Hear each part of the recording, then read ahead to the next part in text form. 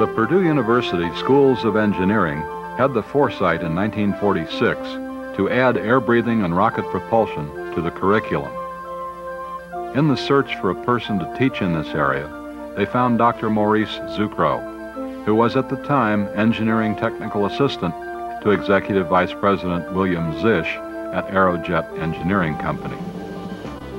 Aerojet was one of the pioneering companies in the field of rocket propulsion systems.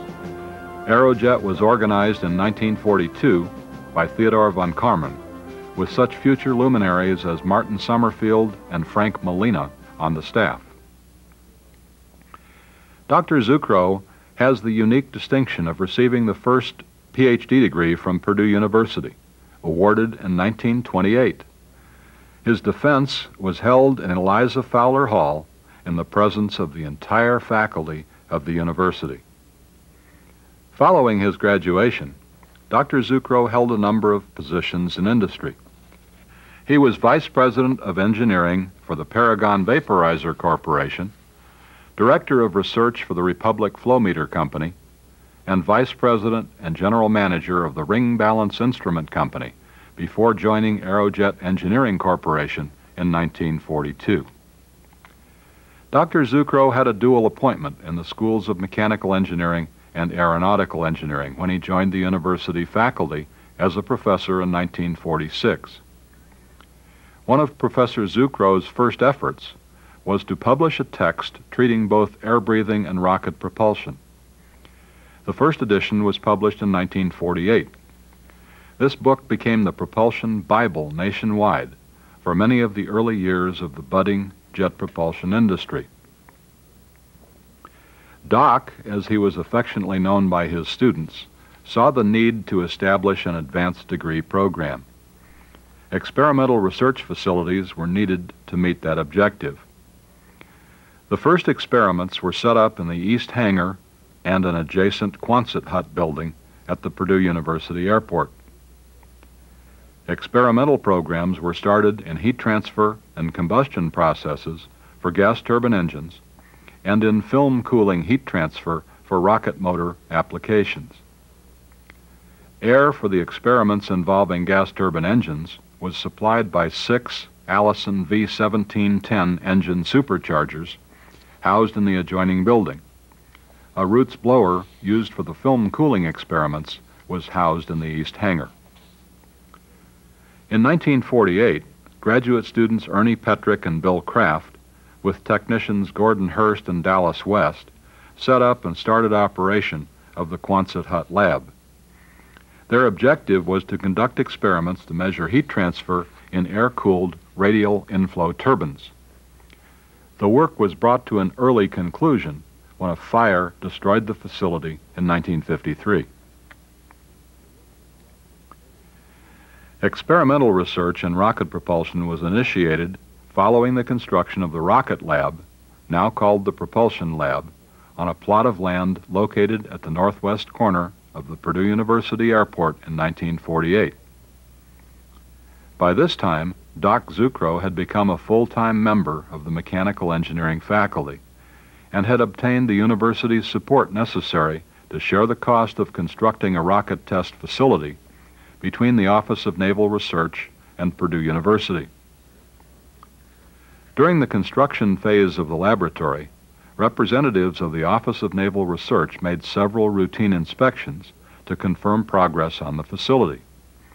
This facility, with future additions, became known as the Purdue University Jet Propulsion Center.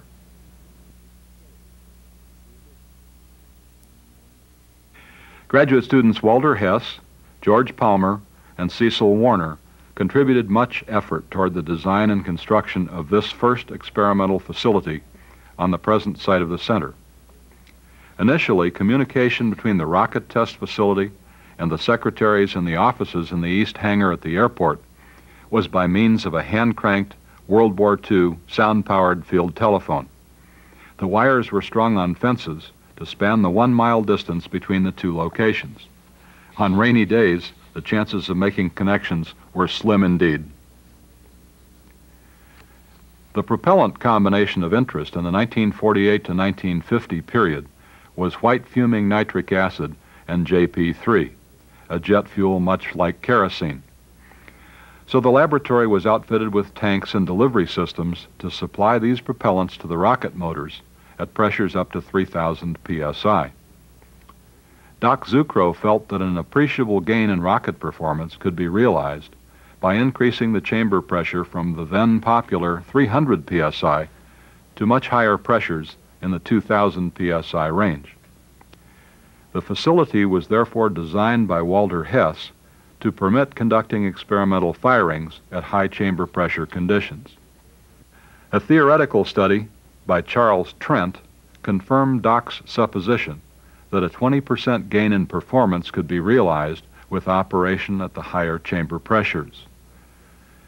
A subsequent study by Professor Cecil Warner indicated that conventional regenerative fluid cooling of the thrust chamber would not be adequate at high chamber pressures, and an experimental program to examine the possibility of using liquid film cooling was initiated by graduate student Eldon Knuth, known as Al, and later continued by Donald Emmons and John Sellers, known as Jack. Thus, two fundamental research programs were initiated. One, the operation of rocket motors at high chamber pressure, and two, the development of enhanced cooling means for rocket motors operating at high chamber pressures. Both programs were funded by the Office of Naval Research under Project SQUID. These programs were technological groundbreakers for the 1947 through 1955 period. Much of the design data gathered on the heat transfer study was used by the aerospace industry almost immediately. The early high chamber pressure work done at the Jet Propulsion Center foreshadowed the Space Shuttle main engine, which operates at a chamber pressure of 3,260 psi. An interesting aside regarding the center's work on operating rocket engines at very high chamber pressure came when a prominent NASA official was critical of the program, stating that high chamber pressure operation was not needed in space. Ironically, this same man later became the coordinator of the Space Shuttle main engine program. The early high chamber pressure rocket engine work was initiated by Hess and Palmer in 1949 and was continued by Claire Bailey, Del Robeson, and Al Graham until 1955, at which point rocket motor firings were made at 2,250 psi chamber pressure. The experiments supported the expected performance increase predicted by Zucrow and Trent. They also verified Sellers and Professor Warner's prediction that film cooling could be used effectively at high chamber pressures the university administration showed considerable interest in the propulsion research in progress at the Jet Propulsion Center, as evidenced by a visit by Dean of Engineering George Hawkins and President Frederick Hovde. Progress along the road to success on the experimental program was not without some setbacks. An explosion resulted from an ignition delay thought to be caused by the low temperature of the hypergolic fuel used to start the rocket motor combustion process. The explosion provided additional motivation to pursue the ignition delay study undertaken by graduate student Stanley Gunn. His work set another early standard for industry on the measurement of ignition delay. His open cup work and finally the development of the impingement of injected streams of propellants became the universal method used to determine ignition delay with self-igniting propellants. An additional problem appeared during the conduct of the early high chamber pressure program, as screaming high-frequency sounds were emitted periodically. An experimental research program to investigate combustion instability was initiated in 1957 by Doc Zucrow with graduate student Robert Osborne as the investigator looking at gas-gas and gas-liquid propellant combinations. The work continued into the 1970s with many programs initiated with industry and the university. Fundamental work at the Purdue University Jet Propulsion Center continued by Bunnell, Sheway, Pinchak, Netzer, and others under the direction of Professor Osborne.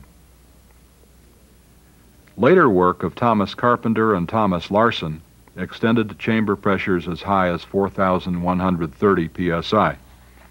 This work was done using nitrogen tetroxide and Aerozine 50 liquid propellants in a newly constructed high-pressure rocket test facility built on a site east of the Jet Propulsion Center complex.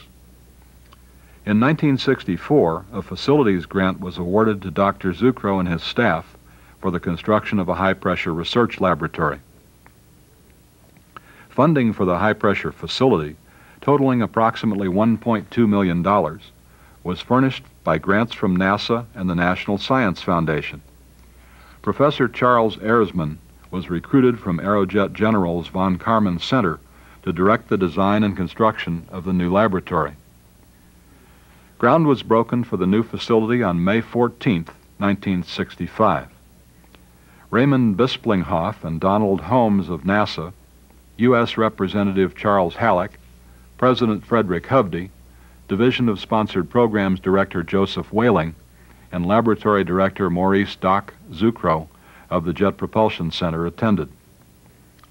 Many faculty of the School of Mechanical Engineering and their wives were also present. The facility was designed to permit rocket engine operation up to 5,000 psi chamber pressure and thrusts up to 20,000 pounds using nitrogen tetroxide and Aerozine 50 as the propellant combination, although the system could accommodate other storable propellants such as chlorine trifluoride and neat hydrazine fuel. The facility was also equipped with the capability to conduct research related to air breathing propulsion because a high pressure air storage capacity was provided to permit a blowdown system to be used. The air storage tanks were obtained with the help of the NASA sponsor from Atlas missile soft sites being abandoned by the Air Force near Cheyenne, Wyoming. Construction on the high pressure facility was completed in 1966. The first firing was a solid propellant grain in support of a program under the direction of Professor Osborne with graduate student Richard Burek, which was to determine the erosive burning characteristics of solid propellants.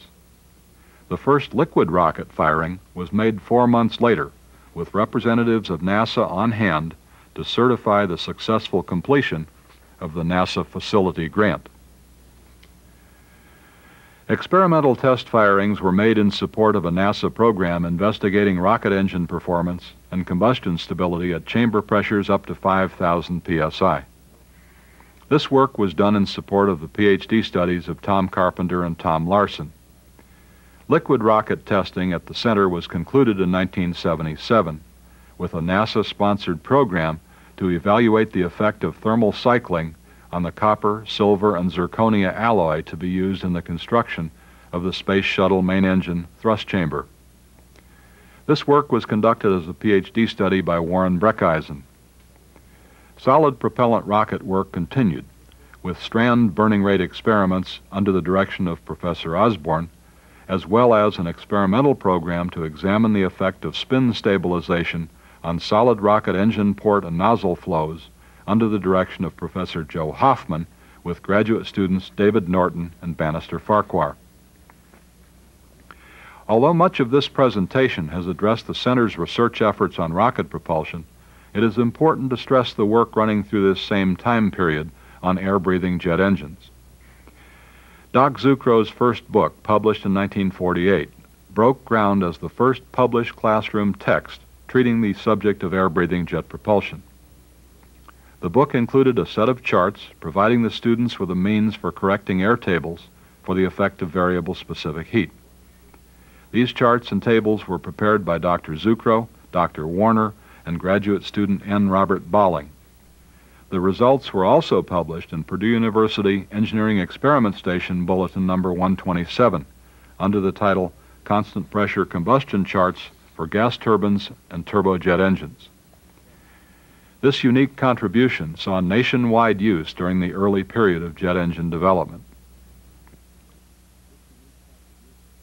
Dr. Zucrow retired from Purdue University in 1966 to live in Santa Barbara, California leaving behind a rich heritage which included some 27 PhD and 60 MS graduate students who achieved respected positions in the aerospace propulsion community, reflecting their thorough preparation and their ultimate contributions to the field of jet propulsion.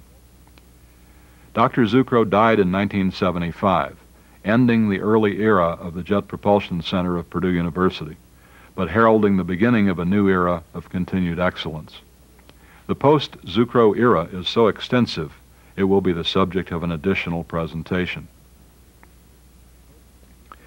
Dr. Bruce A. Reese was appointed the director of the Jet Propulsion Center when Dr. Zucrow retired in 1966 and remained director until 1973, at which time he was appointed to the position of head of the School of Aeronautics and Astronautics. Dr. Douglas Abbott succeeded Dr. Reese as director from 1973 to 1977. Professor Charles M. Ehresmann served as operations manager from 1977 to 1981.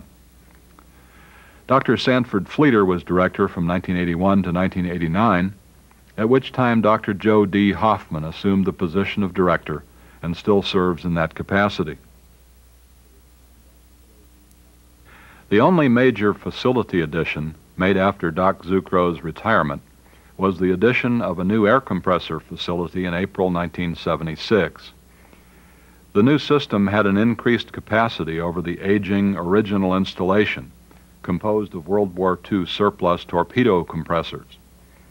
The compressors for the new facility, with a value of $750,000, were given by the Ingersoll Rand Corporation to Purdue University. The building and electrical substation and installation were funded by the university at a cost of $400,000. The new facility permitted pumping the center's 3,013 cubic foot storage capacity to 2,200 psi in four hours, as opposed to the old system's 12 hours. This increased capacity permitted expansion of research into the area of combustion processes related to aircraft gas turbine engines, open flame burners, turbine blade cooling techniques, and duct flow field analysis. Investigations into compressor noise, blade flutter, and flow field characterization, and a number of programs utilizing computational fluid mechanics were also undertaken. The center was renamed the Thermal Sciences and Propulsion Center in 1972 to reflect its broadened research focus the center still maintains the tradition of excellence in research and education begun by Dr. Maurice J. Zucrow in 1948.